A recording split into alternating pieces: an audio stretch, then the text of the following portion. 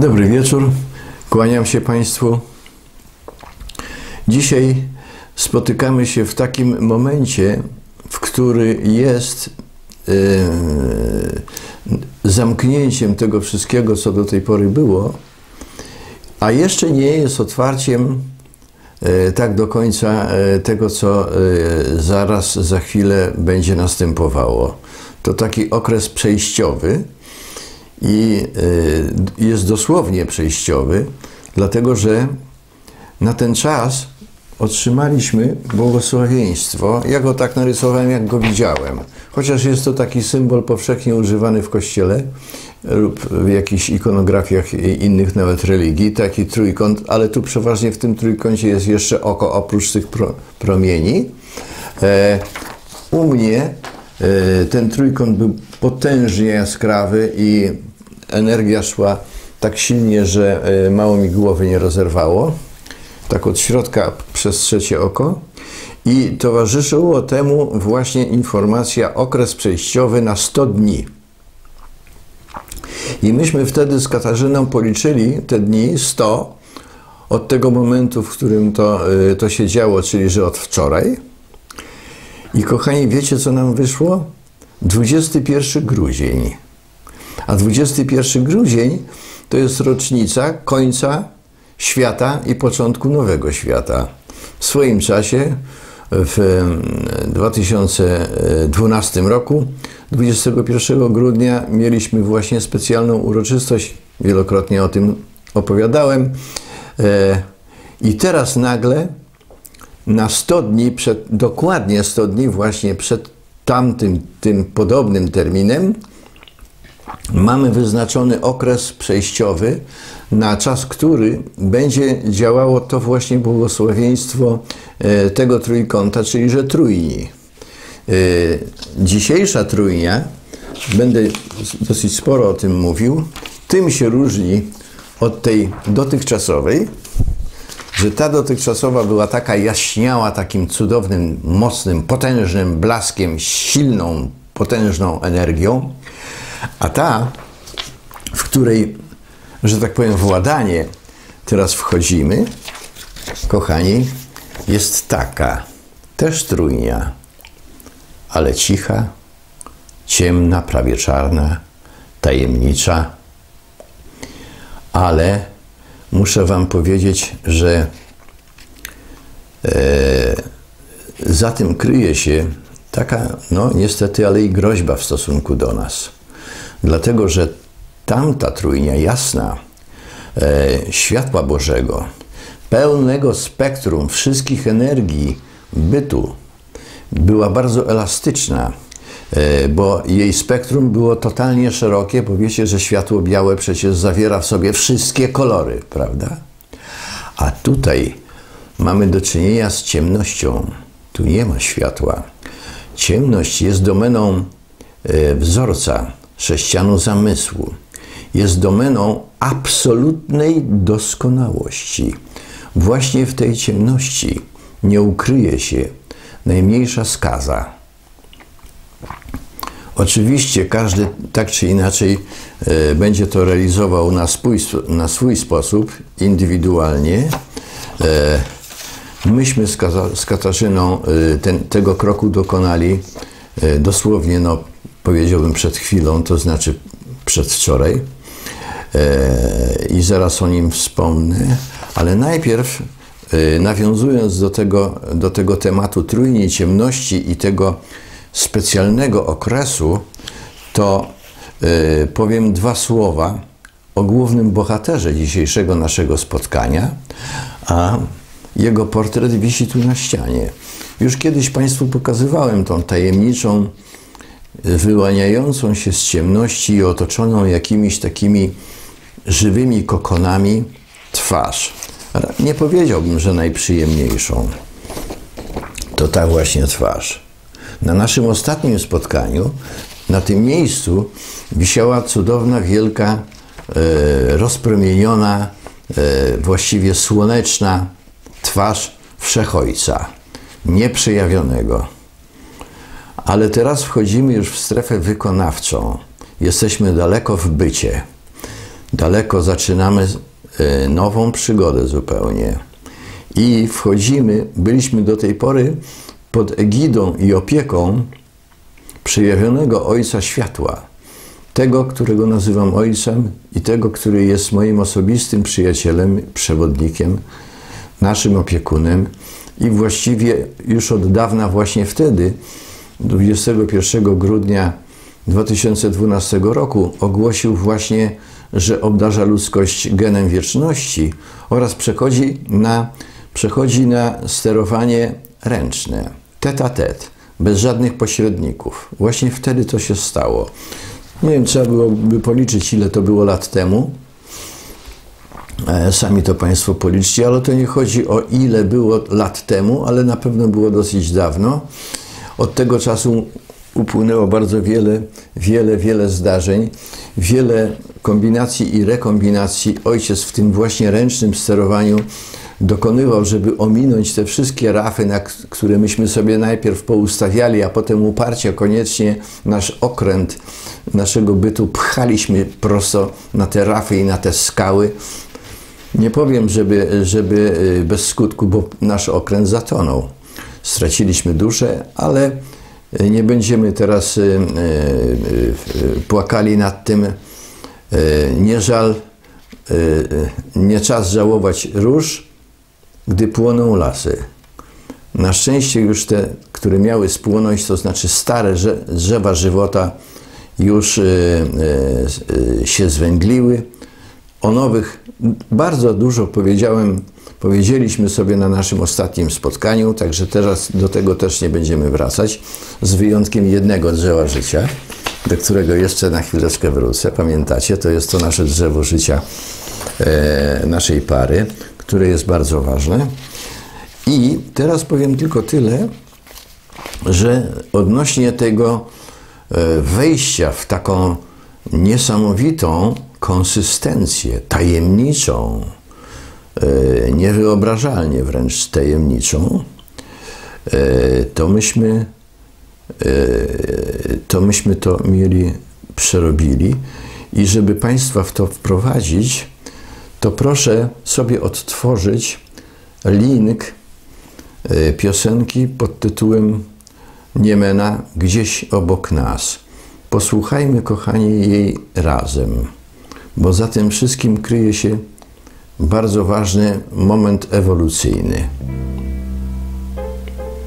Gdzieś obok nas, obok nas życia nurt, obok nas świateł blask Dlaczego powiedziałem o momencie ewolucyjnym?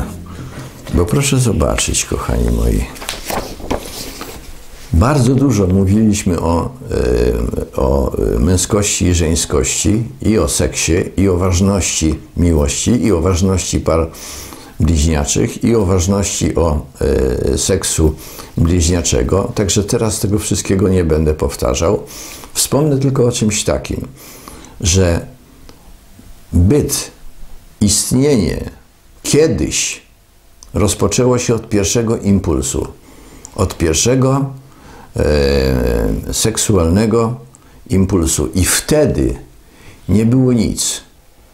Była kompletna cisza, nawet dźwięku jeszcze nie było. A dźwięk jest bardzo ważny w tworzeniu, w tworzeniu energii konstrukcyjnych przestrzennych, całej trójni konstrukcyjnej, dzięki której istnieje wszystko, wszystko to, co możemy dotykać i doświadczać e, manualnie i zmysłowo, ale wtedy nie było niczego.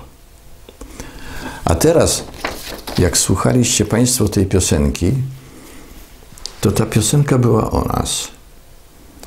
To myśmy się zatopili w tym stanie takiej kompletnej miłosnej ciszy, nawet nie uniesienia, tylko takiej niewypowiadalnej bliskości. A jednocześnie ta bliskość, tak jak cudownie opisuje ta piosenka, właściwie pieśń, otoczona jest realem. Realem gęstym realem pełnym wszystkiego, co dziś niesie nam cudowne, przebogate życie biologiczne, energetyczne i duchowe naszego otoczenia, całości wszechświata i takiego najbliższego. To wszystko zawarte było w tym jednym momencie naszej osobistej, wspaniałej ciszy. I wtedy, w tej wielkiej ciszy, zanurzyliśmy się właśnie w tym przedziwnym, w tej przedziwnej konsystencji nowego Ojca, ciemnego Ojca, tego, który teraz przejmuje pałeczkę od Ojca Światła, a do tej pory trochę z własnej winy leżał odłogiem. To jego leżenie odłogiem, tu jeszcze omówimy, bo, ma, bo mamy na ten temat dosyć sporo przekazów i już sporo wiedzy. Także jeszcze mu się dostanie nieraz za to wszystko, e, co e, poprzez swoje takie właśnie nastawienie, powiedziałbym negatywne, sprowadził na siebie i na nas, ale Ojciec Światła to wszystko wkalkulował, wliczył i, e, i przyjął z bogactwem inwentarza jednocześnie wliczył w swoje konstrukcyjne, konstruktywne działania w tworzenie tego, co jest istnieniem i bytem. I teraz, kiedy już wszystkie algorytmy, wszystkie zdarzenia, wszystkie e, rezultaty i skutki e, zostały przez nas, przez cały wszechświat przerobione od strony światła, od strony tamtych trzech niespełnionych, niespełnionych e, ewolucyjnie bytów, to przechodzimy na drugą stronę i zaczynamy nie tyle od nowa, co zaczynamy troszkę inną konsystencję i inny, inne, inne życie, kochani. Ja nie mówię tego w taki, w, w taki sposób tajemniczy, że ja wiem jakie. Wiem, ale nie powiem. Jak to słyszę, takie wielkie, e, czasem tu przysyłacie mi Państwo linki od wielkich proroków albo wielkich E, zbawców tego świata, z, z, ze światów, nadświatów, e, Michałów, aniołów, archaniołów i tych innych tam ojców, tam bogów jest aż się roi. I wszyscy są taką rodziną boską. Zaraz tu powiem, kto tak naprawdę jest tą rodziną boską, a cała ta reszta, chociaż jeździ na najlepszych pojazdach na świecie, jakie tylko istnieją, to jeszcze nasz, naszym mamelukom, australopitekom do, dopiętnie dorastają a, a uważają się, że tylko oni mogą nas zbawić i nam pomóc. A to tymczasem między innymi przez nich tyle tego ambarasu i nadal to wszystko jest. Wracam do sedna sprawy. Przeżyliśmy tą ciszę i doznaliśmy nowej konsystencji. Tą konsystencję e, opisaliśmy w e, E, w e, przekazie. Podczas naszej wspólnej medytacji weszliśmy w stan, w którym ujrzeliśmy się jako dwie bezkształtne, jasne masy materii, połączone wspólną pępowiną. Dominującym odczuciem było poczucie ubogości siebie i otoczenia. Celowo tutaj w tym przekazie użyte zostało słowo ubogość, bo jest takie właśnie przebogate znaczeniowo, bo zawiera w sobie coś, co jest skromnością i y, takim, y, powiedziałbym, niedostatkiem, prawie że biedą w sensie materialnym. Tylko takim stanem, w którym człowiek egzystuje, e, no, na tyle, że się nie męczy, ale ani odrobiny nie ma przepychu, ani czegoś takiego, co jest nadmiarem, a jednocześnie takiej ubogości, która jest i mieszka u Boga. Ubogi jestem. U Boga. Ona jest u Boga. Ta moja ukochana mówi o sobie, że jest uboga, bo ona jest biedna, nie jest majętna, ale jest uboga. Ale jedna, ta jej niemajętność dotyczy nie pieniędzy, tylko obciążenia materią, że ma w sobie na, i na sobie tylko tyle materii, ile potrzeba, ażeby być lekkim, boskim, przejawionym duchem. Bogiem, boginią we własnej osobie i we własnej ubogiej ciszy. To nie jest bogactwo, które domaga się uwielbienia i uznania, że ktoś jest lepszy, bo, e, bo jest wyżej w hierarchii ewolucyjnej. Absolutnie nie. Tylko po prostu jest ubogi, bo nie jest bogaty i jest ubogi, bo jest uboga. Dlaczego tyle temu poświęciłem słów? Z jednej strony znaleźliśmy, przyszedł również, e, przyszły, e, przyszła wizja, która to cudownie e, przedstawia. I ta wizja przyszła rok temu, kochani. Wtedy nie wiedzieliśmy, co ona oznacza. Proszę się temu dokładnie przyjrzeć. Tutaj, moi kochani, jest taka bezkształtna masa. Bezkształtna i dopiero z niej wynurzają, wynurza się strefa istnienia, strefa bytu. To jest ten mur, ogrodzenie, w którym wewnątrz zawiera się wszystko to, co jest już istnieniem, ale on jest wyraźnie podzielony na strefę czarną i na strefę białą. Wewnątrz niego są trzy domy. To są właśnie te trzy wszechświaty, które żeśmy odbyli, które jeszcze wymagają poprawek, ale są gotowymi domami. A obok, za tym mm, e, murem, jest jeszcze jeden dom. To taka informacja, że to wszystko, co jest w naszym istnieniu i w naszym bycie, prastare, pradawne, pierwotne i co, co wyprzedza wszystko, co potem nastąpiło i co dzisiaj jest, to i tak przedtem też coś było. Też był dom, też tam ktoś był. Też to wszystko, kochani, nie to, nie to wszystko, tylko inne wszystko też istniało. Także nie jesteśmy tym, tymi jedynymi yy, i yy, najpierwszymi, tylko jeszcze ktoś był przed nami, jeszcze ktoś to robił, jeszcze ktoś to tworzył. I teraz w słowach tego, tego, tej informacji, którą tu przed chwileczką przeczytałem, jest bardzo wyraźne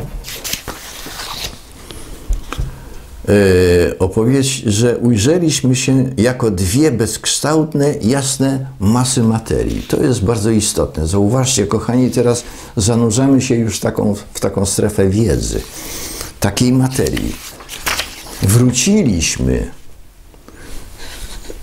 swoją świadomością zewnętrzną, zmysłową, cielesną do takiego bezimiennego stanu. To jest to, co y, sukcesywnie przerabialiśmy do tej pory w naszych spotkaniach. Że cofaliśmy, czym, większy, czym większego dokonywaliśmy postępu y, w sensie y, spotkań, zrozumienia i kroczenia takiego twórczego do przodu, ewolucyjnego, bardzo ważnego. Dokonaliśmy tych kroków i to bardzo y, sukcesywnych, tym razem już y, takich, które y, spełniły swoją rolę. I jednocześnie idąc tak do przodu i postęp, dokonując tych postępów, zanurzaliśmy się w głąb przeszłości, w głąb ciemności, jeszcze głębiej, jeszcze dalej, w jeszcze większą tajemnicę, i jednocześnie szliśmy do góry w jeszcze większe światło, w jeszcze większą y, jedność i z, z, y, wszech, współistnienie z, z swoim Ojcem, z naszym Ojcem światła. A tamten ojciec, powiedziałbym ojczym ciemny, wciąż pozostawał w cieniu. Rezultatem tego tego, e, tej wędrówki, którą żeśmy wtedy wspólnie odbyli, nawet nie przypuszczaliśmy, że coś takiego nastąpi. Bo kochani, kiedy się wchodzi w strefę wieczności, w strefę materii, pramaterii i prapramaterii, to tam yy, musi się być pozbawionym najmniejszej, najmniejszej chociażby skazy, chociażby najmniejszego drgnięcia niewłaściwości. I ojciec dopuścił nas do tego stanu, po to, żebyśmy tak głęboko wchodząc w siebie, w swoją samoistność, w swoją samoświadomość, napotkali swoją niedoskonałość. To była taka drobnostka, i nagle ta najmniejsza z najmniejszych drobnostek stała się tak potężna, że mało nie rozwaliła nam naszej więzi. To była chwila bardzo groźna. Bardzo groźna. I później tłumaczyłem to Katarzynie, że taka drobnostka może zawalić najwyższy wieżowiec. Bo zauważcie, że jeżeli dom jest niziutki albo nie ma go wcale, to co by się nie działo w jego podwalinach, w jego e, korzeniach, w jego, e, w jego fundamentach, jaki by tam nie był błąd, to nic się jeszcze na górze nie dzieje, bo choćby było troszkę krzywo, to i tak ten dom się trzyma, czy ten mur trzyma się kupy. Ale jeżeli zacznie się go budować wzwyż, coraz wyżej, coraz wyżej, coraz wyżej, to ta najmniejsza odchyle, odchyłeczka tam na dole, najmniejsza skaza, da taką odchyłkę tam u góry, że ten najpiękniejszy i najdoskonalszy dom może się zawalić. I w przechodzeniu do wieczności ciągle będzie to doskonalenie takie. Myśmy to przeszli przez prawdziwe katarzis.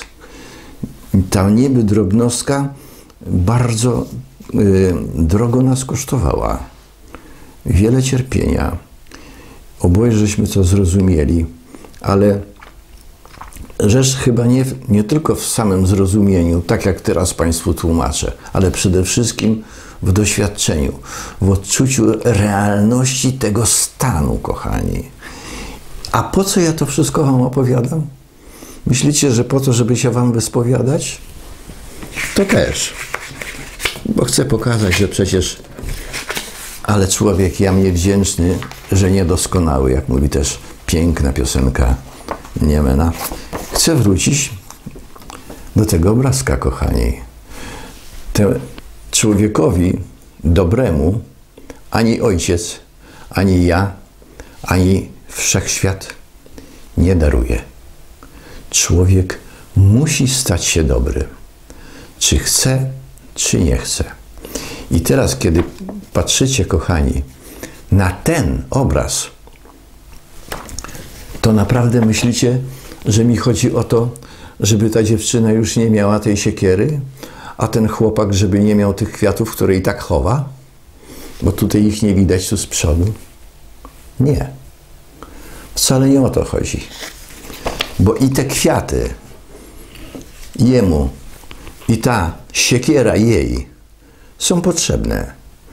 Są ich narzędziami pracy. Rzecz tylko w tym, żeby ich nie chowali, żeby nie udawali, że są kimś innym. Przed samym sobą, żeby tego nie, nie udawali. I żeby to, ta siekiera powędrowała z zapoleców przed oczy. I żeby krzepko została ujęta w dłoniach tej młodej, pięknej dziewczyny.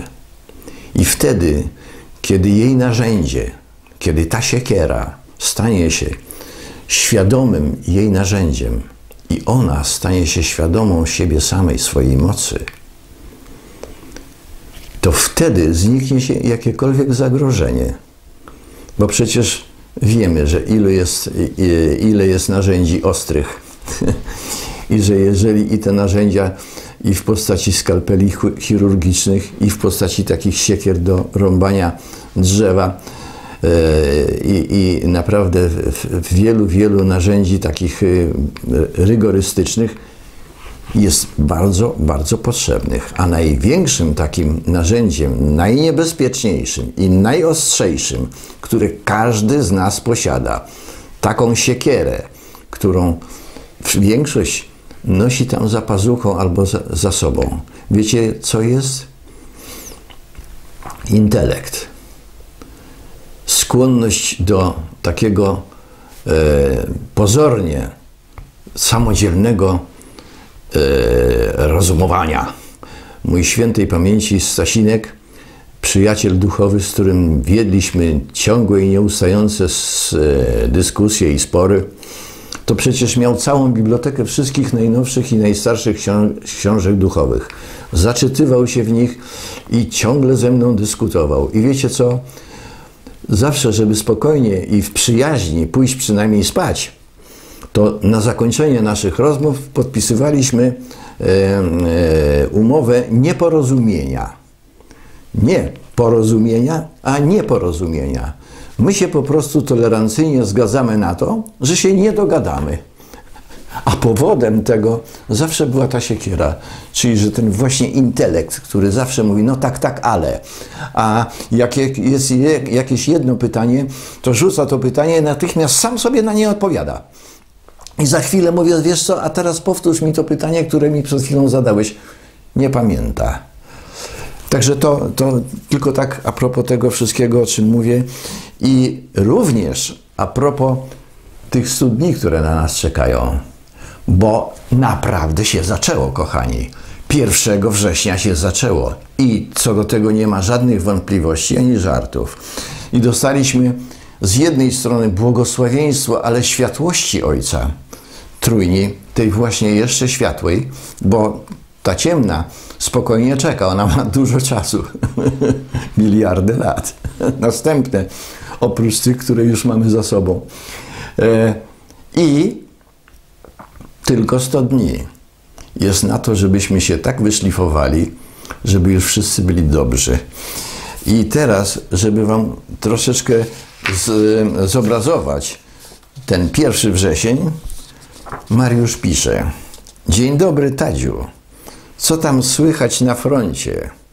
Ja około 1 września tak nagle osłabłem, że ledwo chodziłem. Zresztą miałem pokazane, żeby żadnych wysiłków fizycznych nie robić. Po tym się rozchorowałem. Najgorzej, jak tylko w życiu było, do tej pory było. Energia yy, potężna weszła w, kręgo, w mój kręgosłup i tak intensywnie i szeroka y, ona była, że ten mój kręgosłup mi pękł. Dosłownie pękł. Tak, że było wesoło, ale już jest lepiej, bo do tej pory się leczy, Marionie kochany. Dlatego pytam, czy coś intensywnego się działo, bo ja czułem się jak na wojnie. O sobie mogę tylko powiedzieć, że jest to dopiero drugi dzień, kiedy chodzę prosty. Bo w kręgosłup dostałem takie uderzenie, że naprawdę wchodziłem w welkę, ale tyle razy opowiadałem o tym moim kręgosłupie, że to już, to już, nie, już ten temat nie będę go rozwijał, ale naprawdę wszyscy moi znajomi to nie było takiego, który by nie leżał e, w jakiś tam sposób i nawet fizycznie tego nie odczuł. I mogę tylko tyle powiedzieć, że e, takiej sprawiedliwości, a raczej niesprawiedliwości boskiej tak się staje zadość, że każdy, kto robi jakiś postęp duchowy, to zaraz, zaraz dostaje jeszcze większą dawkę energii i większą, większą, że tak powiem, porcję do przerobienia. czym, lepszy, czym, czym większego dokona dostępu, tym za chwilę większe baty na niego czekają. Ale to nie mówię o jakiejś karze ani o jakiejś karmie, tylko o pracy. To już jest naprawdę konkretna praca. I y, y, nasze otoczenie będziemy odczuwać coraz intensywniej, coraz intensywniej i coraz intensywniej. Odnośnie tych, y, tego, tej siekiery, to dam przykład na właściwe ustawienie, ustawienie właśnie intelektu. Proszę zobaczyć. jedne okulary, drugie okulary. I mój przyjaciel Maciek przysłał mi żartobliwe zdjęcie, myślał, że jest taki dowcipny i nałożył sobie dwie pary okularów i zrobił autoportret. A tymczasem to jest właśnie komunikat. Właśnie okulary. One y, wyznaczają spektrum obserwacji, kierunek obserwacji, zakres obserwacji właśnie dla świadomości, dla oczu, bo świadomość nieprzejawiona widzi wszystko.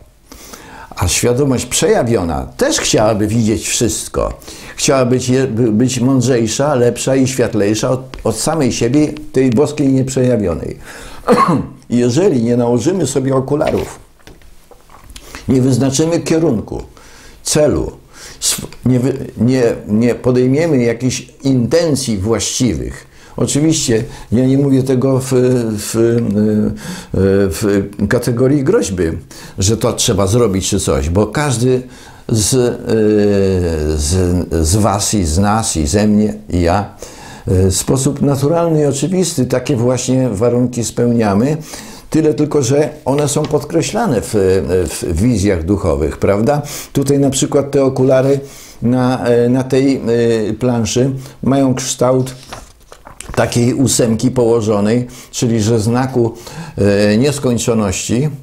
E, e, I ktoś by powiedział, no to wiadomo, to nieskończoność, to, to, to zawsze ta nieskończoność dotyczy nie strefy, a dynamiki nieskończoność ruchu, który jak zaczął się raz, to już się nigdy nie skończy, bo jest istnieniem, ale nie w sensie tego, że jest nie wiadomo gdzie, nie wiadomo jak i w ogóle jest nie do określenia, bo to natychmiast intelektualiści i matematycy od, od razu takie właśnie zastosowanie mają dla pojęcia nieskończoności, tym się nie będę przejmował.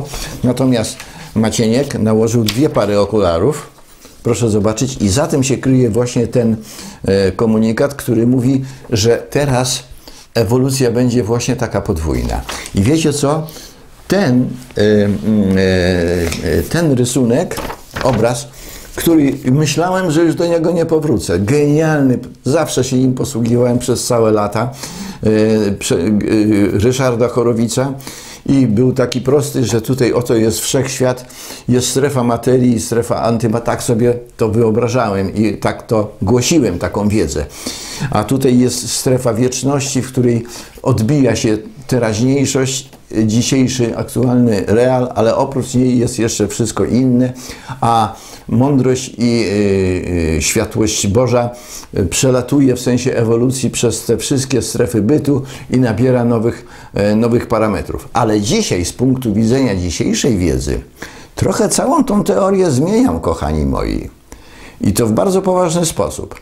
Chodzi mianowicie o to, że ona nadal jest aktualna i dotyczy dwóch bytów, które teraz będą szły ręka w rękę. Jeden jest bytem światła i bytem e, materii przejawionej, i to jest ta strona, ta kolorowa, ta barwna, a drugi jest bytem ciemności, o wiele większym i tajemniczym, i w nim tych atrybutów nie ma, tylko dlatego, że on zawiera w sobie przede wszystkim energię macierzysta. Z energii macierzystych za pomocą rytmu i dźwięku tworzą się, jak Państwo wiecie, z, z moich poprzednich wykładów, jeśli nie, to ja mogę jeszcze takie, to, tej trochę wiedzy podrzucić, e, tworzą się wszystkie elementy energetyczne właśnie tej strony. I odnośnie tych elementów energetycznych, e, to mogę tylko jeszcze powiedzieć, bo wchodzę w e, temat po prostu rzeka. Proszę zobaczyć, to ta naiwność, z jaką dzisiaj y, uparcie y, większość naukowców już wie, że to jest nieprawda, że to jest kłamstwo i że się wszechświat nie wziął z jednego wybuchu, z jakiegoś nadzwyczajnego prawybuchu, czy jakbyśmy go nie nazwali, i że tutaj przedstawiają właśnie cząsteczki te najgrubsze, E, materię naj, e, najcięższą i najgęściejszą, która potem e, dzieląc się na coraz mniejsze cząstki, później quasi cząstki, tam zwiększając swoją temperaturę w, stop, w stopniach Kelwina i w częstotliwości y, czasowej do granic możliwości, dochodzą do epicentrum tego, który tam przed miliardami lat, y, z grubsza rzecz biorąc 17 do 20 miliardów lat temu, tam nastąpił ten prawybuch, on tam nigdy nie nastąpił i to nie jest w czasie wcale y, epicentrum żadnego wszechświata, tylko to jest portal, przez który w strefę naszej trójwymiarowej gęstości materialnej wypływa energia z wyższych, z wyższych e, wymiarów. I teraz rzecz w tym, że nasi naukowcy koniecznie chcą dzieląc cząsteczki naszej materii na jeszcze mniejsze, jeszcze mniejsze, wiedzą, że czym mniejsza, tym wyżej sięga, tym głębiej, tym dalej w sensie przestrzeni w sensie czasu, więc tam chcąc dzielić je na kawałki, chcą sięgnąć do tych najwyższych wymiarów, a tymczasem dzielą tylko włos na czworo. Cały czas dzielą te elementy, tej, tego wymiaru, w którym my się znajdujemy, nie mają takim narzędziem nie mają najmniejszej szansy na to, żeby dojść gdzieś głębiej. I teraz otrzymuję linki od znajomych, przysyłają mi właśnie wielkie, e, wielkie komunikaty naszych braci, którzy teraz, właśnie teraz niedawno uruchomili znowu wielką akcję pomocy dla, dla ziemi, wręcz zbawienia ziemi, koszą wszystkie e, bazy e, reptarianów, e, czy szaraków, czy Mossadu, czy jakichś innych jeszcze zaprzańców, którzy nam psuli naszą rzeczywistość i oni teraz nas koniecznie chcą zbawić i mogą to zrobić. Ciekaw jestem, czemu nie zrobili tego tysiąc lat temu, albo na przykład w czasie II wojny światowej, kiedy po prostu ludzie, albo pierwszej, kiedy mordowali się po prostu milionami własnymi rękami. Wtedy cały świat na to patrzył y, i, nic się nie działo. A teraz nagle wszyscy koniecznie chcą nam pomagać. Y, znaczy, pomagać tylko dlatego, że wszystko już mamy załatwione, ale również dlatego, że chcę powiedzieć o tych proporcjach, o tych, o których przed chwileczką zacząłem mówić. Najpierw słowa komunikatu na ten temat. Znalazłam się w stanie, w którym odczuwałam, że jestem w centrum wielkiej klepsydry. Zobaczyłam tak maleńki, e, zobaczyłem ta, zobaczyłam tam maleńki pomarańczowy kryształek, drobinkę i usłyszałem wówczas słowa: Bez niego tego miejsca nie ma. Wielka klepsydra, ta, o której żeśmy ostatnio rozmawiali, ta, w której płynie energia z, w obie strony, ta najnowsza, i w tej wielkiej klepsydrze jest jeden maleńki kryształek, i ten maleńki kryształek to on jest właśnie bytem. Jest tym naszym istnieniem. I po to, żeby ten maleńki kryształek mógł być, to cała ta maszyneria podwójnej klepsydry musi po pierwsze być, a po drugie działać bez przeszkód. I i od tego zaczynam właśnie proporcje. Kiedy tutaj nam słyszymy i od naszych y, naukowców, i od naszych braciszków, którzy mają tak doskonałe e, statki y, y, powietrzne, w sensie pojazdy kosmiczne, że poruszają się po całej galaktyce i po całym, jak twierdzą, wszechświecie bez trudu, e, to oni naprawdę myślą, i uważają, że właśnie Pana Boga zapięty złapali swoją wiedzą i swoimi możliwościami.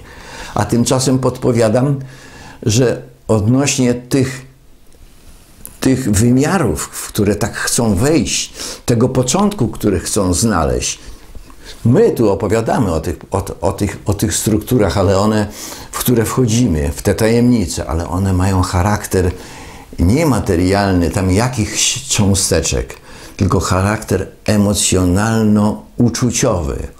To swoim uczuciem, wyczuciem, doświadczeniem siebie i swego istnienia można, to jest narzędzie poznawcze, którym można zagłębiać się w tajemnice istnienia, ale nie za pomocą teleskopów Hubble'a albo paru jeszcze, jeszcze innych, albo za pomocą bardzo szybkich pojazdów, albo za pomocą portali, którymi można przenosić się w oka mgnieniu z jednego końca e, kosmosu w drugi kosmosu, powiedzą, bo wszechświata to nie. Zaraz powiem dlaczego. E, I zaczynam od tych właśnie proporcji, kochani od tej maleńkiej drobinki, która jest całym wszechświatem.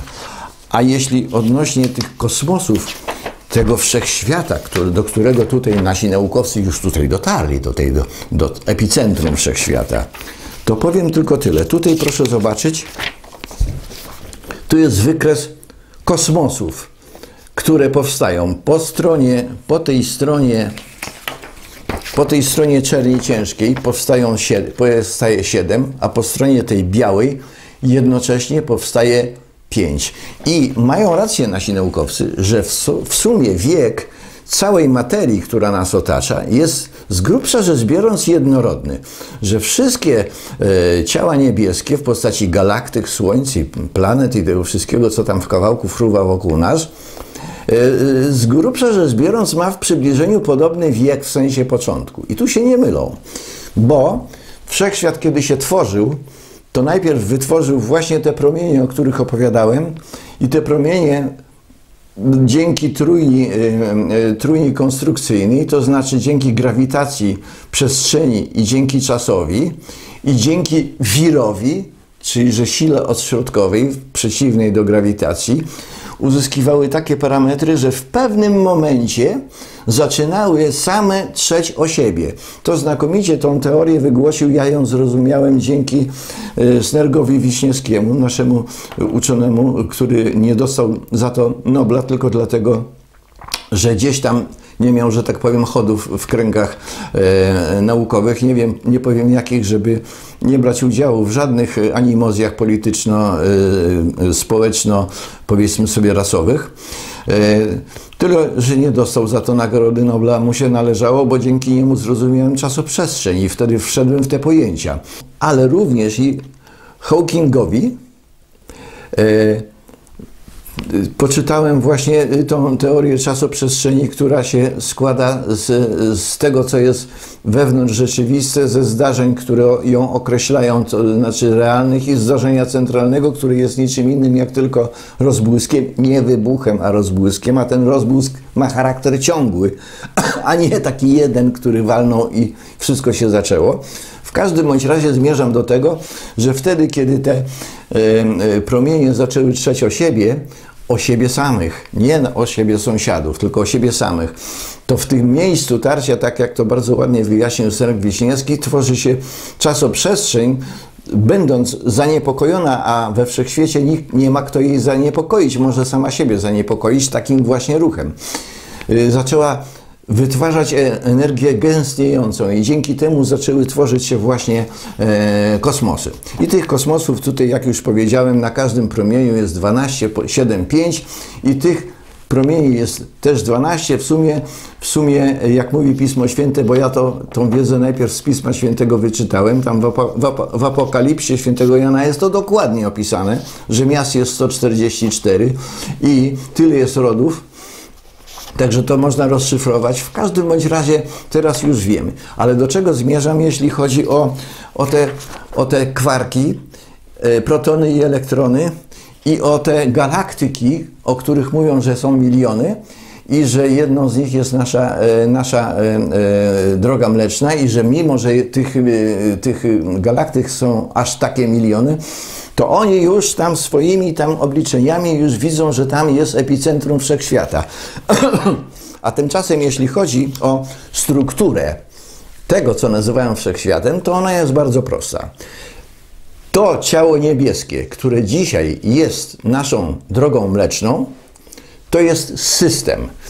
Najpierw hierarchia życia w kosmosie i we wszechświecie yy, zasadza się o planety zamieszkałe a planety zamieszkałe biologicznie muszą być w układach słonecznych skompletowanych, to znaczy po 12 planet w jednym układzie.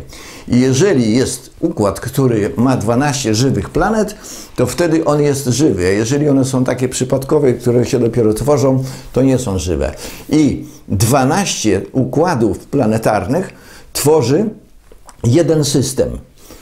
I nasza droga mleczna jest takim jednym systemem. A wiecie, co dalej jest? 12 takich systemów to jest dopiero galaktyka. A 12 takich galaktyk to jest dopiero jeden kosmos.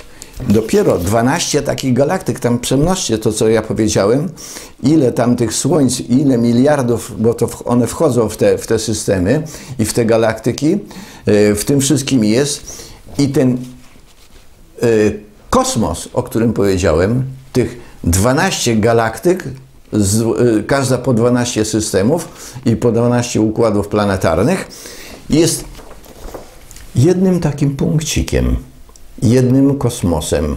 I ten kosmos jest tak skonstruowany w sensie wymiarów, że jest tak jak gama na e, klawisze na e, fortepianie. Jest układ 12 klawiszy, to znaczy 7 białych i 5 czarnych. Można na nich grać 12 gam dzięki temu i żaden z tych klawiszy na siebie nie zachodzi, tylko jest obok. I tak samo jest z tymi, z tymi kosmosami. Wszystko, co wewnątrz kosmosu żyje, nie ma kontaktu z sąsiadem, a jeżeli go ma, to tylko z sąsiadem, to znaczy z tym, który jest nad nim i pod nim z żadnymi innymi. O tym między innymi wspominają ci wędrowcy kosmiczni, o których ja teraz tam czy, czytam, że są tak doskonali, że nawet się kontaktują z sąsiednim wszechświatem, tak ostatnio słyszałem. Oni, sąsiedni wszechświat, to znaczy to jest to, co ja nazywam kosmosem. Także tutaj takie proporcje zarysowałem. I odnośnie tych kwarków i elektronów to powiem tylko tyle, bo ciągle mówię, mówimy o energiach. Energia, energia, energia.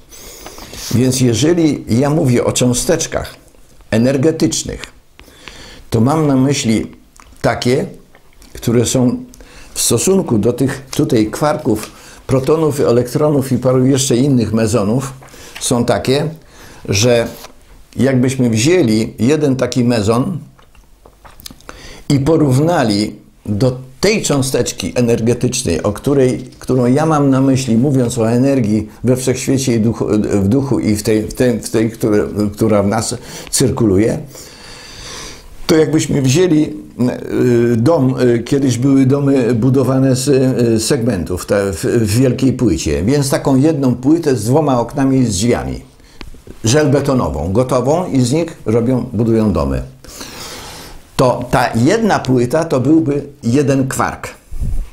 A jedno ziarenko piasku w tym żelbetonie to dopiero byłaby ta cząsteczka energetyczna, o której my teraz, którą ja mam na myśli, kochani. Także tutaj chodzi o te, o te naprawdę takie y, pola do popisu dla badaczy niezmierzone, a wszystko jeszcze na dodatek się, e, się e, rozwija i zmienia. Jak robiłem parapsychologię, to między innymi e, napotkałem na taki artykuł, który po rosyjsku przeczytałem, uczonej rosyjskiej, która opowiadała, że dostała wielkie nagrody naukowe za to, że dokonała tam odpowiednio odkryć chemicznych i policzyła to matematycznie, a, mówię, a, a tu się zwierzała, dlatego to na parapsychologii o tym opowiadałem.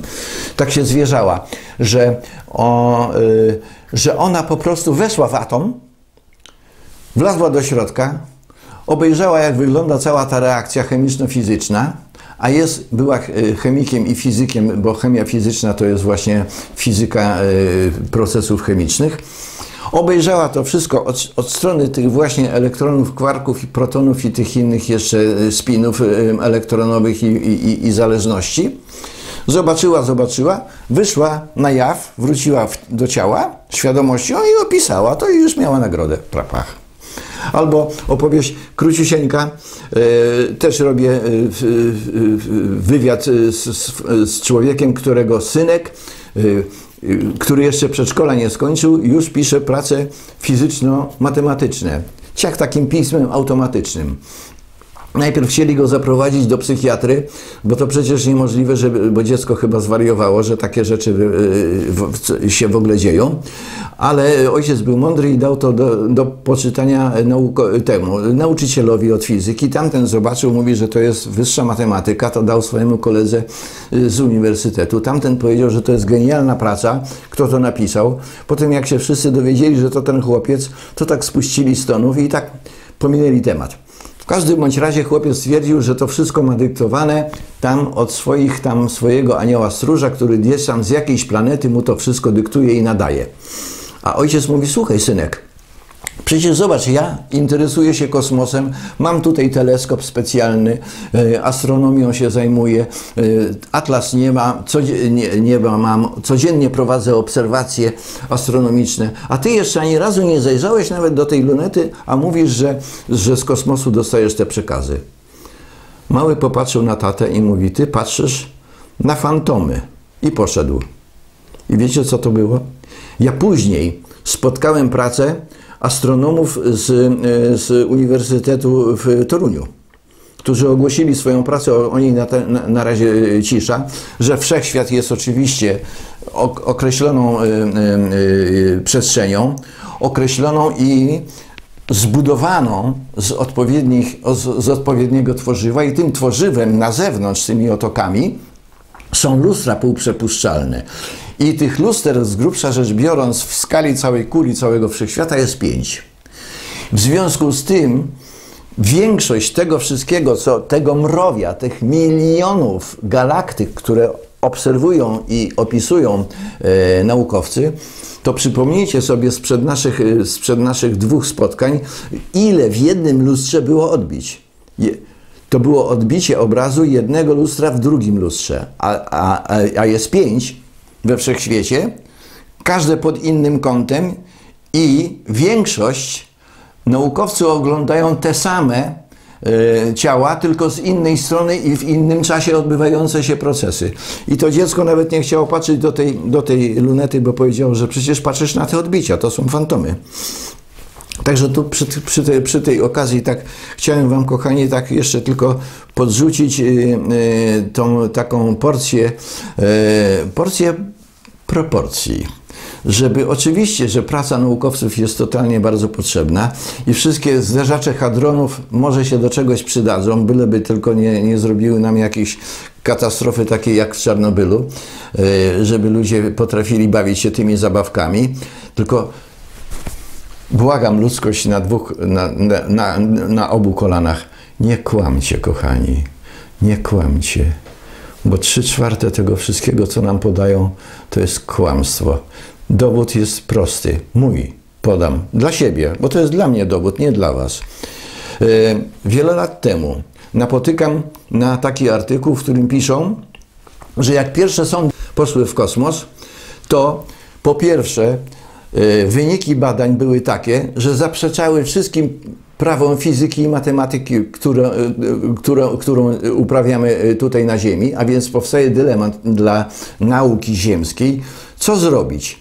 Czy tą prawdę wprowadzić w życie i od nowa uczyć się matematyki i fizyki, czy zachowa, zachować tę XIX-letnią scholastyczną wiedzę i cicho siedzieć, cicho szar.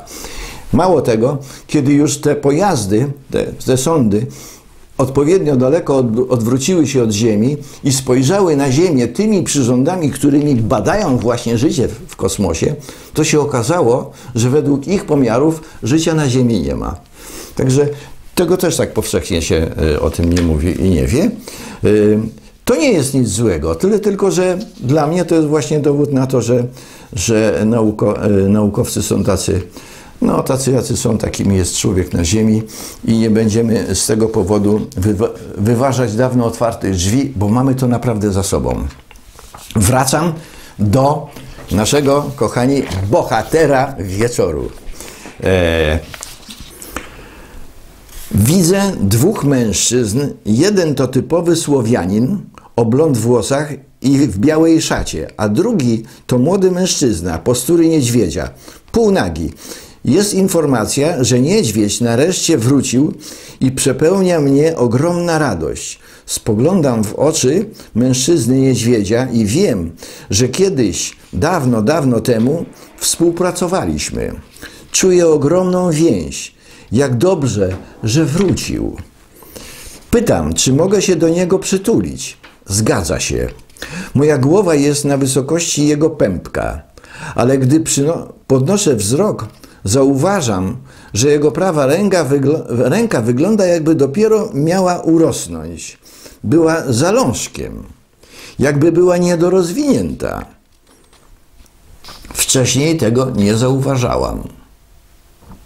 Widzicie, kochani, co to jest? A teraz do tego jeszcze dołączę taki przekazik narysowany ręką e, innej zupełnie osoby. Proszę zobaczyć. O.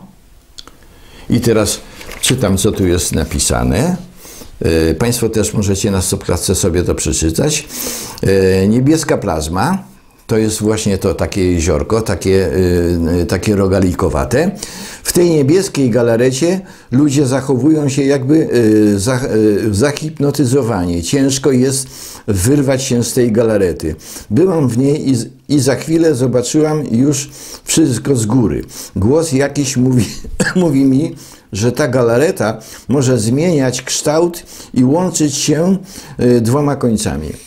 Palec zobaczyłam, że, y, że y, zobaczyłam i bałam się, że, y, że o tego ludzika, obok którego jest wetknięty w ziemię, żeby mu nie zrobił krzywdy.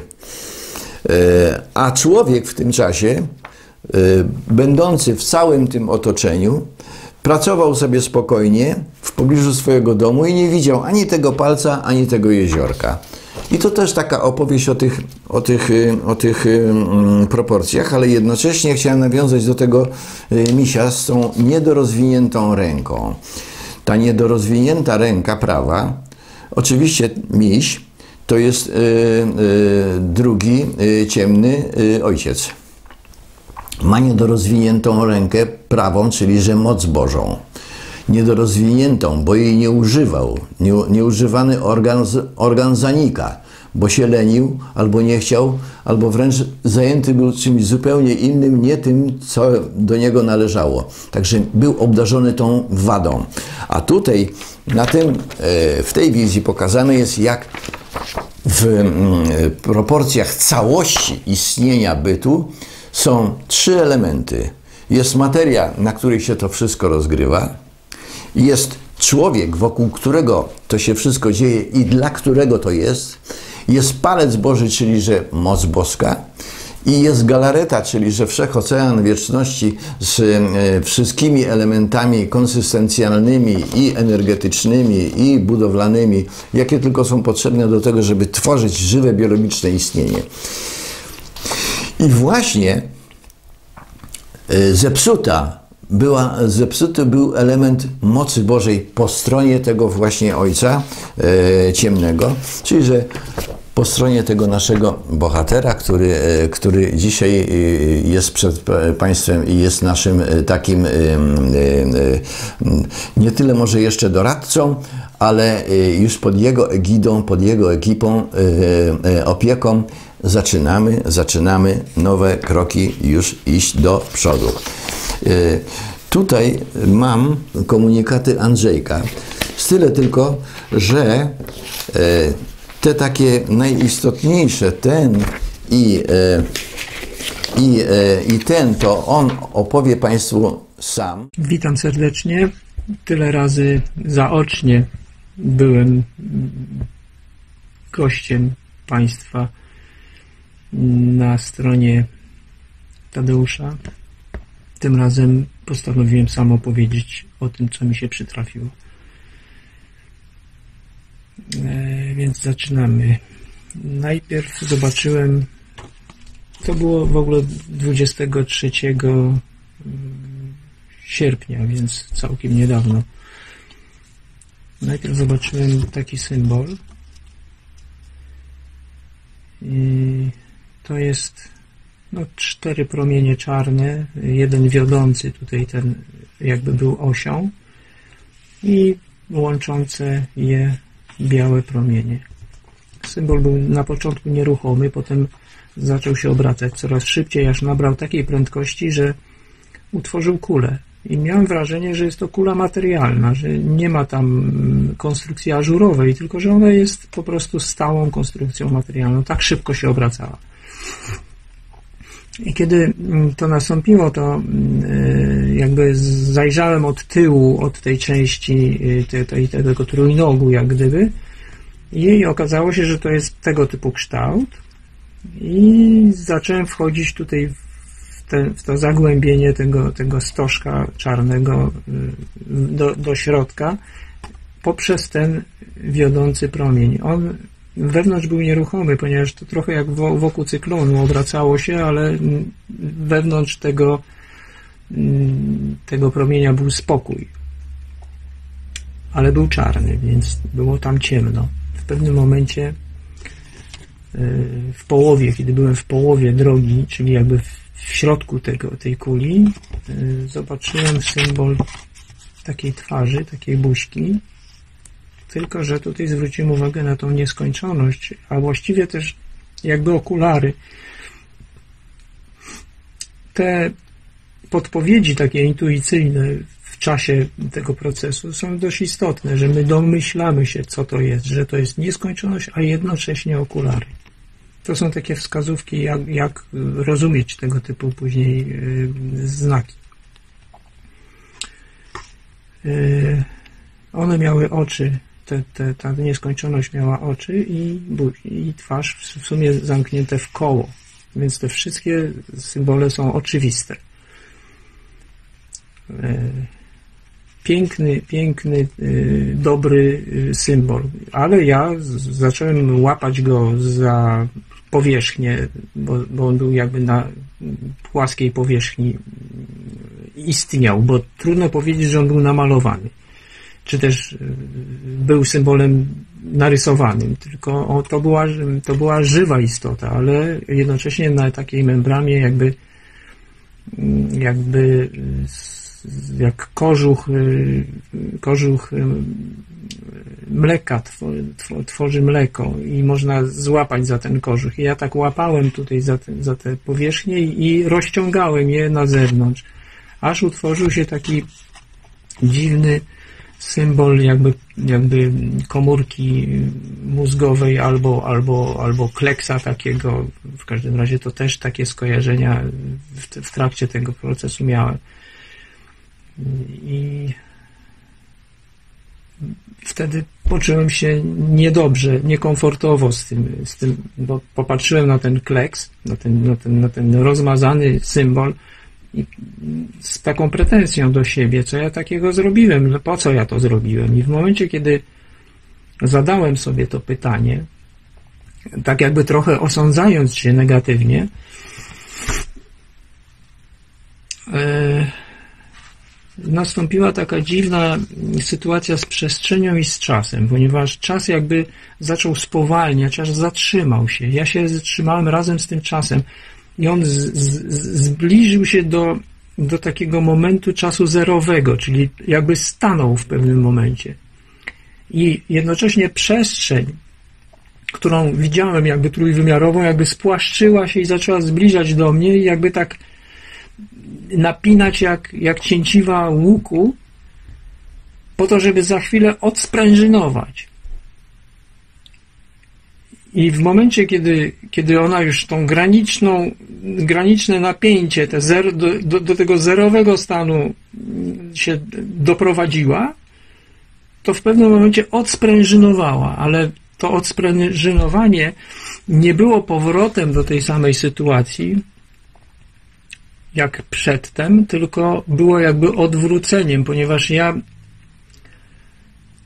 tą w tej przestrzeni zobaczyłem nowy symbol. I ona, i ten symbol jakby nie przyszedł do mnie w taki normalny sposób, tylko właśnie taki jakby z odwrócenia tej przestrzeni. I to był, i to był, i to był taki znak, ten, taki krzyż skośny, ja to nazywam krzyżem skośnym, z taką, z takim pionowym prostokątem czarnym, jakby przesłoniętym przez ten krzyż skośny. Dodatkowo tam miał takie promieniowanie białe, ten czarny prostokąt. I to był właściwie koniec tej wizji. Jeszcze ja się zacząłem zbliżać do tego krzyża, do centrum tego krzyża i im bliżej byłem, tym więcej tego światła było. Aż w pewnym momencie stanąłem w takim punkcie, gdzie już nie było nic innego oprócz tego białego światła. I to był, i to było, to był koniec te, tego procesu, który, z którego wyszedłem już później. Także to jest taka jedna opowieść, którą chciałem Państwu zaprezentować.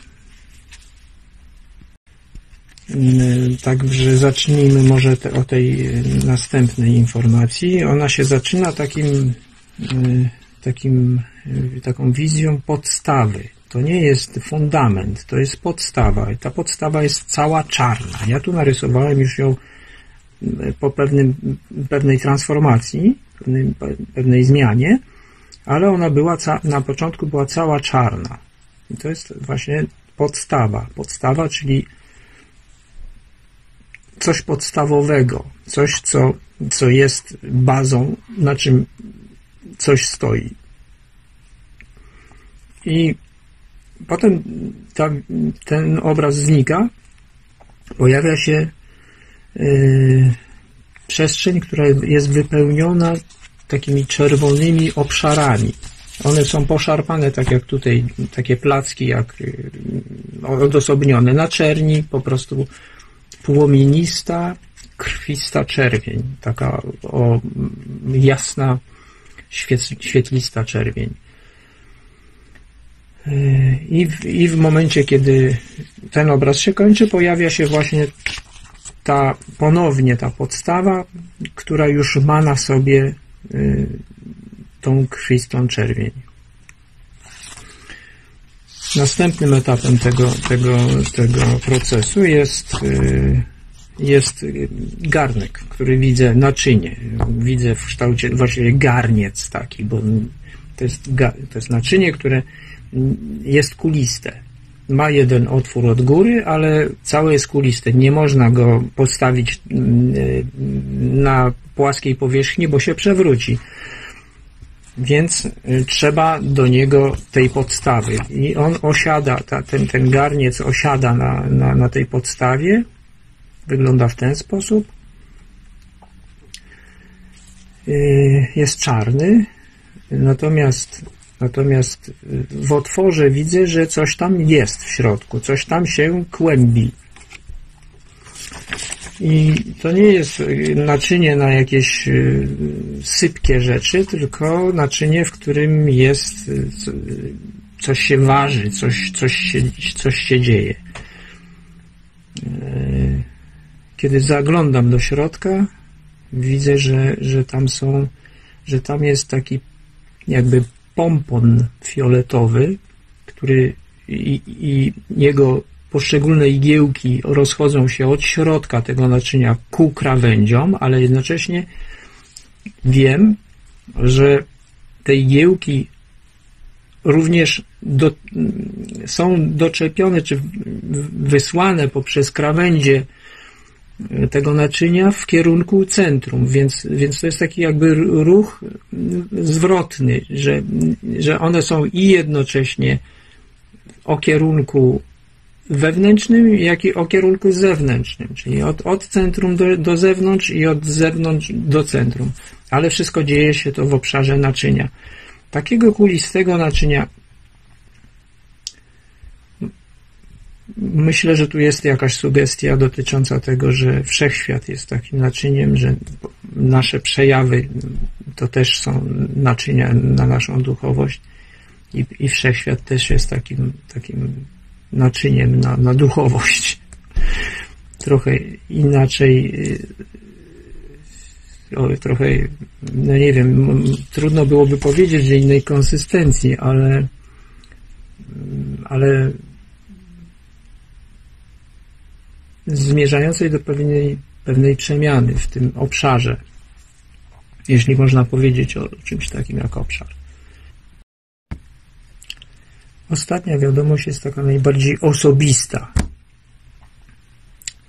Jestem w takiej sytuacji, że robię coś z jakimiś ludźmi w pomieszczeniu. Jestem gdzieś w, jakichś, w jakichś budynkach i robię coś, ale robiąc to, mam ciągle wrażenie, że nie robię tego, co powinienem robić. I że w zasadzie nie zacząłem nawet robić tego, do czego zostałem powołany. I przez całe istnienie swoje powinienem robić.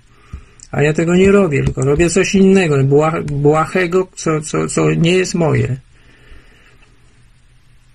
Wiem, że za chwilę nastąpi koniec, że na chwilę, za chwilę wyjdę, a wciąż nie jest zrobione to, co powinienem był zrobić.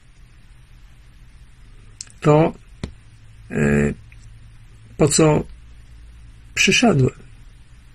Tutaj jeszcze chciałem powiedzieć, jak precyzyjnie, jak pokazać Państwu, jak precyzyjnie, z jakim olbrzymim e, odległością czasową przygotowywany był dzisiejszy stan bytu. Tego właśnie, o którym mówiłem, o którym trąbię od paru naszych spotkań, że jest dwustronny e, byt światła i byt cienia. Kochani, z 2014 roku przekaz taki w schemacie, a taki w, y, narysowany przez Andrzeja, żeby dokładniej to widzieć. Wtedy wiedzieliśmy, że przerabiamy, y, wtedy przerabialiśmy aspekt bezkresu, że jeżeli jesteśmy świadomością, to możemy być w każdym miejscu w stosunku do bytu i widzieć byt i istnienie z pewnej odległości. Jaki by nie był, czy to jest galaktyka, czy to jest kosmos, czy to jest cały wszechświat, jako świadomość możemy to z zewnątrz widzieć. Natomiast jeżeli się przejawiamy i już mamy zmysły i mamy ciało, to musimy zaistnieć wewnątrz tego bytu i w tym momencie jesteśmy w bezkresie. To tak jak z daleka popatrzymy sobie na morze, tak widać, jeszcze, jeszcze nie przeszliśmy, nie, nie weszliśmy na plażę, tylko z daleka, to widać, że tam taki paseczek jest y, y, wody, przed nami piękna plaża, ale jak wejdziemy i staniemy na brzegu morza, to widzimy, że brzegu tam drugiego nie widzimy. A jakbyśmy weszli do tej wody i popłynęli jeszcze dalej, to byśmy zobaczyli, że brzegu nie widać z żadnej strony, chociaż na pewno gdzieś tam jest. Właśnie wkraczamy w prawa, e, w prawa postrzegania bez kresu. I wtedy myśmy to z Andrzejem prze, przerabiali. Natomiast tutaj ewidentnie dopiero teraz, mając tą wiedzę i to doświadczenie dzisiejsze, widzimy, że w 2014 roku ojciec pokazał, że wszystko ma już przygotowane, a myśmy mieli jeszcze parę wariantów w starej, w sta- w starej wersji ratowania swoich dusz. I ojciec je uruchamiał do ostatniej chwili aż do chwili, kiedy, kiedy uśmierciliśmy te, e, kochanie, te dusze. W każdym bądź razie, a już wtedy na zapas miał już dawno gotową nową wersję bytu i wszechświata. Oczywiście e, na spółę ze swoim, e, ze swoim bratem, ojcem drugiego wymiaru, e, ciemnego, ale to wtedy, wtedy to z, z tą spółą to było, kochani, różnie. I muszę koniecznie o tym powiedzieć. Wiecie, jak ona wyglądała, ta spóła? Tak. Znacie ten obraz, jest bardzo popularny. Moi kochani, i to jest ta wieś, z którą właściwie dzisiaj przy, do Was przyszedłem. Chciałem od niej zacząć, ale widzicie, ile czasu upłynęło. Może już niektórzy nie wytrzymali i poszli albo spać, albo y, wyłączyli się, bo jak długo można słuchać owsiankę, owsiankę, który ciągle mówi o tym samym. W każdym bądź razie o tym to jeszcze nie mówiłem. Do czego zmierzam? Do tego, że ci, którzy stali przeciw, działali przeciw naszej i swojej ewolucji duchowej, to im najbardziej właśnie zależało na tym, ażeby poróżnić dwie strony światła i cienia, żeby człowieka od tej strony cienia, czerni i ciemności, o to jest zło, to jest diabeł, to jest antychryst, zmusić ich do walki. Rzeczywiście ci ciemni to przyczyniali się i przede wszystkim to oni tworzyli te wszystkie niuanse, które nas spychały z drogi ewolucyjnej i dostarczały nam cierpienia, bo wiemy y, jaki był mechanizm pozyskiwania energii y, życiowej i do życia potrzebnej do istnienia dla tych wszystkich, którzy się sprzenie, sprzeniewierzali dziełu tworzenia bytu.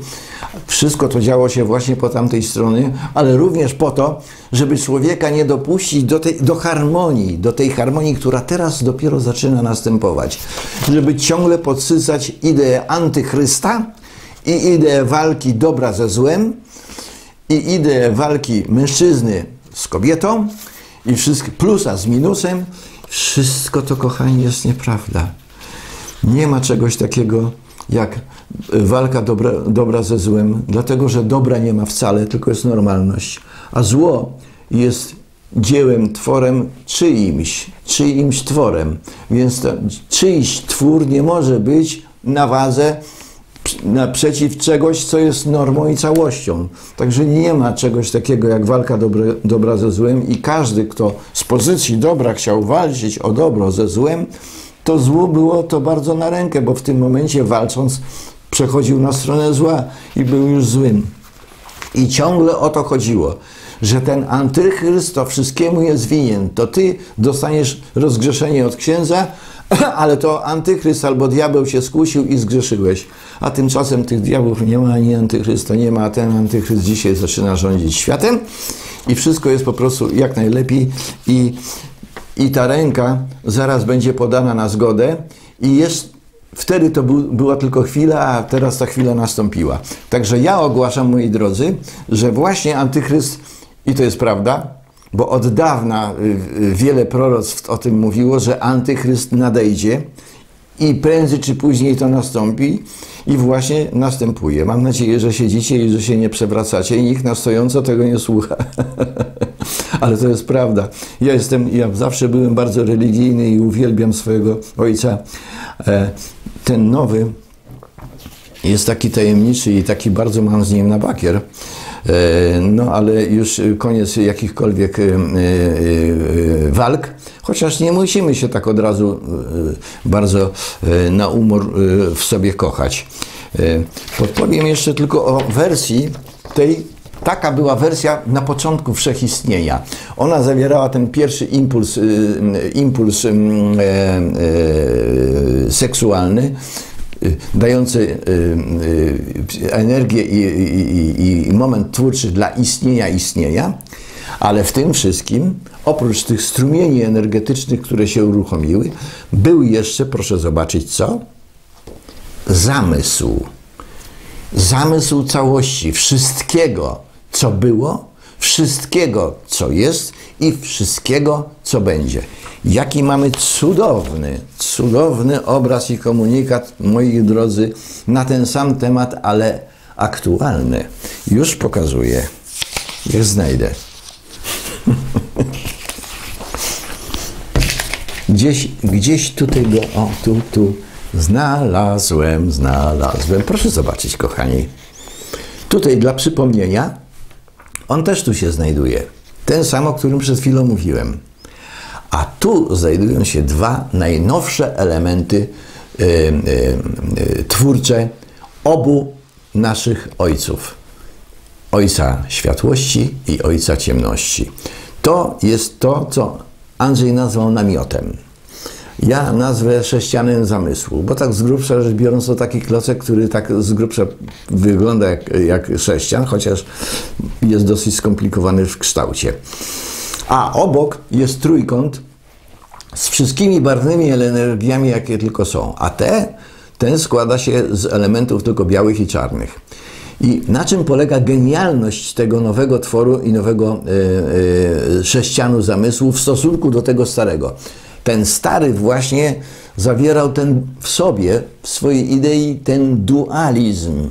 Coś było naprzeciw czegoś połączone jeszcze na dodatek takim superkantem, czyli że takim czubkiem. I coś było obok czegoś. I te elementy dwu, yy, dwoistości można było później rozmnażać w postaci tych gier, które się odbywały i w, Makryś, w Matrixie, i w naszym codziennym dzisiejszym życiu. A tymczasem ojciec zbudował, ojcowie nasi zbudowali nowy y, zamysł, który jest tak skonstruowany, że również składa się z bieli i z czerni, z czarnych i białych elementów, ale tak w stosunku do siebie ułożonych, że już nie ma żadnych kantów, kochani.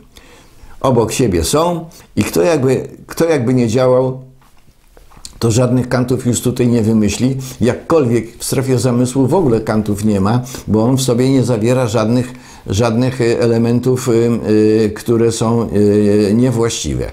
A jeżeli takie są, to one do niego nie należą i są, wiecie czym, nierzeczywistością. Mówiłem o tym parę razy i zaraz o tym wspomnę, bo to jest bardzo istotne do, do tego tematu, do którego chcę teraz nawiązać tak na zakończenie. I powiem tylko tyle, już to też mówiłem, ale powtórzę, bo słynę z powtórek, że jak mm, pytałem ojca, no tutaj tyle zła się na ziemi dzieje, same łzy, sama krew, do tej pory wojny się nie skończyły, ciągle się y, ludzie zabijają, zastrzeliwują i, i nienawidzą i na skalę y, ogólnoludzką, ale na skalę taką rodzinną i y, codzienną, międzyludzką też. Wszystko jest jak gdyby po staremu i wszystko jest oczywiście bardzo złe. I co, I co ty, tatuś, na to? A tatuś się uśmiechnął i mówi bardzo prosto: Tego nie ma. Ja mówię: Jak to tego nie ma? Nie ma. Ja mówię: To co jest? No są tylko warianty, bo to było dawna ta rozmowa. Są warianty różnych gier. Ja mówię: A, a w której ja jestem? A ojciec mówi: a ciebie w nich nie ma. W żadnej. Bo to są nierealne warianty. Ich nie ma w zamyśle, a więc ich nie ma. Mimo, że już trwają miliony lat, ich nie ma. I tutaj mamy taki bardzo ładny komunikacik. Zobaczyłam fragment ruletki. Była nieruchoma. Wszystko było szare, zatopione w szarym mroku. Informacja, koniec gier. Następna wizja. Jestem w centrum koła młyńskiego, jak w, na, jak w wesołym miasteczku. Widzę fragment koła, kręci się powoli. Jakaś postać ludzka, którą widzę niewyraźnie, zjeżdża w dół. Po chwili widzę drugą postać. Siedzi do mnie przodem. Na głowie ma stalowo-srebrny hełm z kratą z, pionowe, z pionowych, z kratą metalową, z pionowych pręcików yy, na wysokości oczu. Hełm przypomina hełm łapacza w grze baseball, w baseball. Dlaczego o tym mówię? W kontekście tego, co przed chwileczką mówiłem o nierealności i o tym, że to wszystko, co jest złe, to w ogóle nie istnieje, w stosunku do oczywiście do zamysłu. Ale chodzi mi o dzisiejszy nasz real i o procesy te, tych, tego błogosławieństwa studniowego. Chcę nawiązać na koniec do tego, co było na samym początku. Gier nigdy nie było, ale jednak one oddziaływały na nas w takiej postaci, jakie były. Ponieważ były nie e, wzorcowe, to były przypadkowe. Przypadkowe w sensie tego, że stworzone poza, poza zamysłem, a więc były porównywalne do ruletek. Wszystkie ruletki na tej zasadzie, o której niedawno rozmawialiśmy, potłuczenia e, szkieł i zlikwidowania wszystkich, wszystkich wirtualnych e, rzeczywistości i na zasadzie zlikwidowania strumienia energetyczno-informacyjnego, który płynął od źródła, od ojca do wszystkich genów, tam ojciec zastosował inną technologię i ten przepływ jest już bezstrumieniowy. Także wszystkie te elementy zostały zlikwidowane. W związku z tym te gry nie mają nie mają środowiska ani, ani, ani yy, mechanizmu do tego, żeby były, a więc zostały zatrzymane. Ale mamy do czynienia z urządzeniem pod tytułem koło młyńskie, które jest czymś podobnym do tego, o czym mówiliśmy na ostatnim naszym spotkaniu, że uruchomiony został, yy, uruchomiona została niszczarka do dusz. Koło młyńskie jest też niszczarką, wiecie do czego? Do tych kul, które latają w, latały wtedy w, w tych ruletach. Rulety zostały zatrzymane, ale kule wtedy wypuszczone jeszcze są w ruchu. I co? Mamy dwóch zawodników od, od yy, baseballa. Pałkarza i łapacza. Pałkarz nie ma pałki i już żadnej z tych kulek nie odbije. A łapacz ma za zadanie łapać każdą z nich, która nadleci, bo przecież jest w ruchu, i co zrobić? I przerzucić do koła młyńskiego, która to, to zdarzenie i te kule zmiele. I będziemy mieli na to, kochani, 100 dni. I tak będą mielone wszystkie kule naszych bardzo bolesnych rzeczywistości państwowych, gospodarczych, politycznych, międzyludzkich, a najboleśniejsze będą kule wasze osobiste, bo do wieczności z żadną kulką wejść nie możecie i z żadną skazą też nie. Kochani, dziękuję.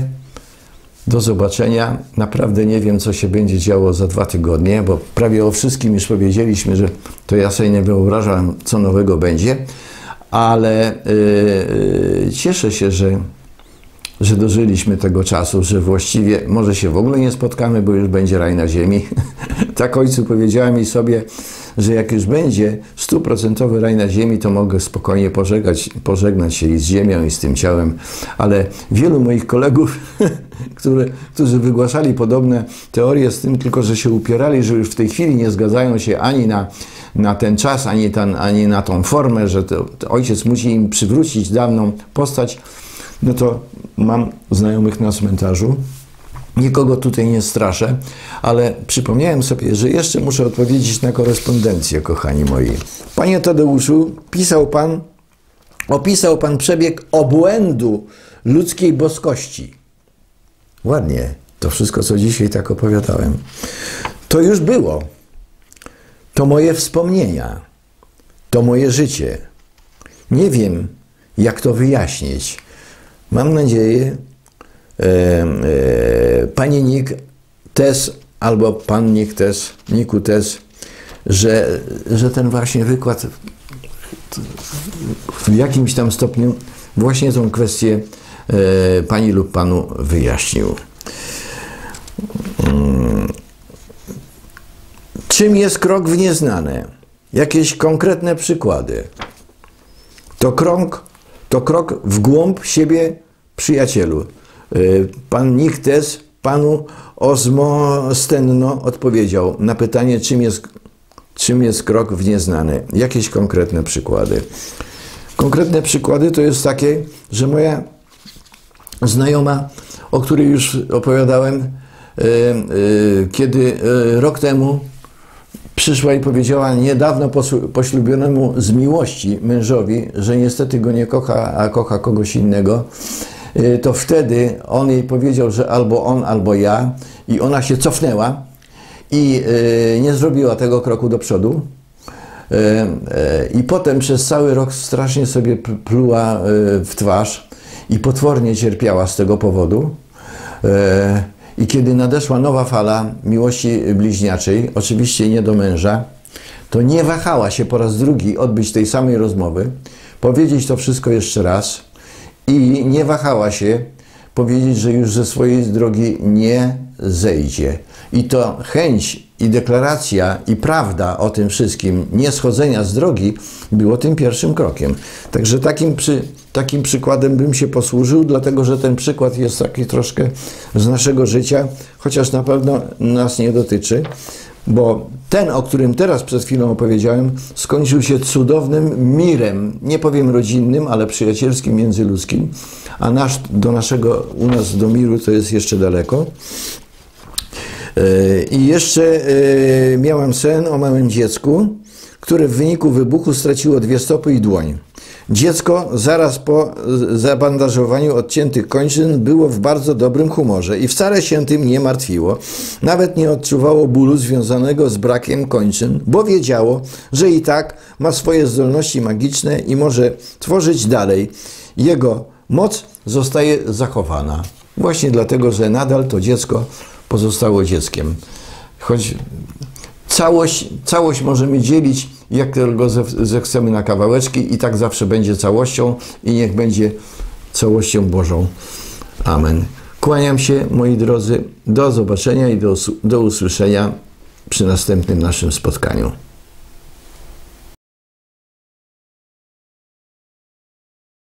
I tak więc nieważne kto komu, kiedy, dlaczego, i z jakiego powodu.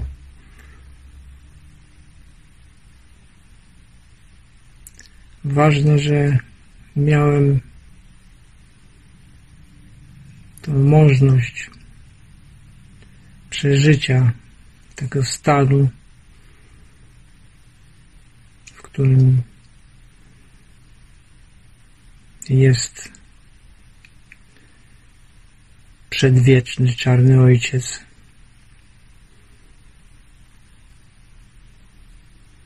I to w sumie dobra wiadomość. Bo zrozumieć to znaczy zmienić kierunek swojego marszu. A przed nami leży nowa, biała, czysta karta.